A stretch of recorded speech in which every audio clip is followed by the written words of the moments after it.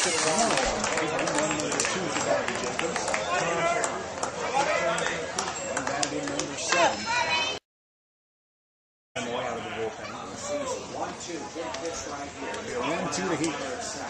Man, Joseph's on the side field. Elgo going back. He's looking up. That ball is gone. Ben Heath does it. Stand.